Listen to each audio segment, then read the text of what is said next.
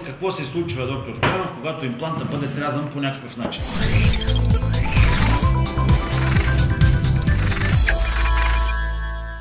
Импланта може да бъде нарушена неговата цялост горе-долу при три ситуации.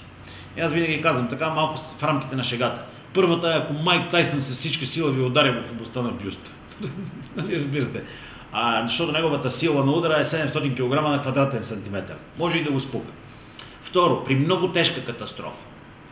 При много тежка катастрофа, когато реброто отвътре се щупи, остия тръп на реброто отвътре навън среже имплант. Или когато някой ви наръга с нож в областта на гърдите. И при трите случая това, че импланта е срязан, ще бъде най-малкият ви проблем. Ето аз нарочно съм срязал един имплант, за да го показвам на пациентите.